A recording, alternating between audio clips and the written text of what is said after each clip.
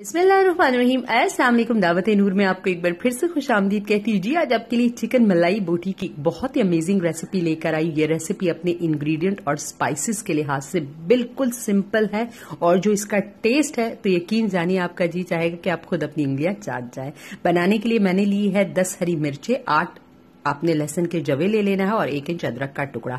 Mixie jar में इसे डाल देना है और तकरीबन आपने ये एक कप तक पानी इसके अंदर डाल देना है और इसके साथ इसे पीस लेना है। ये देखिए, इस तरह पानी पानी वाला पेस्ट आपने प्रिपेयर करना है। अब मैं इसे साइड पर रख दूँगी। पहले तमाम तैयारी करनी है मैंने लिया है विद बोन। कुछ ब्रेस्ट के पीसीज मैंने लिए हुए हैं चिकन के और ये 750 ग्राम है। इन्हें धोकर साइड पे रख लेना है। आधा किलो दही है और अब इसे फेंट लेना है। दही आपने फ्रेश लेना है। बहुत ज़्यादा खट्टा नहीं नहीं लेना। इसे भी फेंट कर साइड पे रख दूँगी।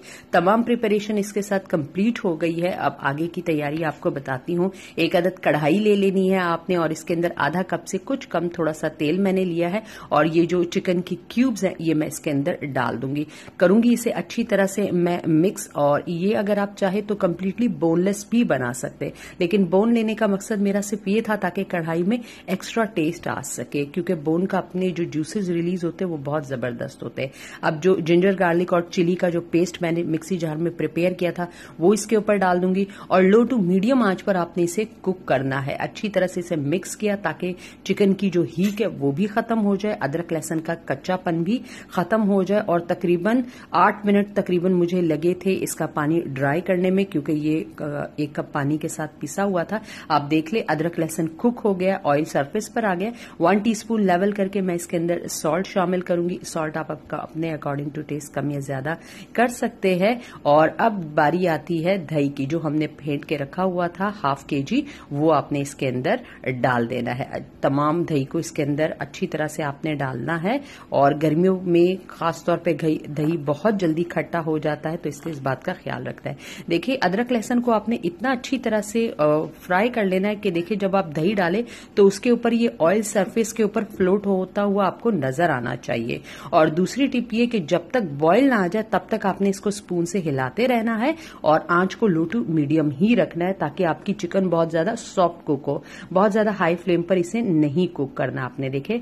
तकरीबन 12 मिनट मुझे लगे थे इसको कुक करने में और ये देखे, इसका तमाम पानी ड्राई हो गया। अब मेरे पास हाफ़ कप के करीब क्रीम है, जो मेरी क्रीम बाकी रह गई थी, ये भी मैंने इसके अंदर बाद में शामिल कर दी थी और ये क्रीम इसको बिल्कुल टर्निंग पॉइंट टेस्ट देता है। वन टीस्पून मोटी कुटी हुई दरदरी काली मिर्चें डाल दी है।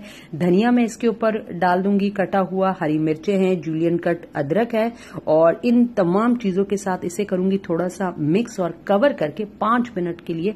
हल्की आँच पर मैंने इसको दम के लिए रख देना है। जो खुशबू, ये हरी मिर्चें, धनिया, अदरक के साथ इस कढ़ाई में इन्फ्यूज होती है ना, आपको बिल्कुल ऐसा लगेगा कि आप किसी रेस्टोरेंट साइड पर बैठे हुए हैं और आप इस चिकन मलाई बोटी का टेस्ट ले रहे हैं। ये बहुत ही अपने खुशबू के लिहाज से अमेजिंग है। साथ साथ इसके जो स्पाइसेस हैं, वो इंग्रेडिएंट बहुत ही ज़्यादा सिंपल है। तो होप करूँगी रेसिपी आपको बहुत अच्छी लगी होगी। आपने दे दिया होगा इसे एक ज़बरदस्त सा लाइक चैनल पर अगर नए हैं तो हम्बल रिक्वेस्ट है बगैर सब्सक्राइब किए मज़े। फ्रेंड्स एंड फैमिली के साथ इसे शेयर कीजिए और कमेंट बॉक्स में मुझे अपना फीडबैक ज़रूर दीजिएगा। इजाज़त चाहूँगी। अल्लाह हाफिज।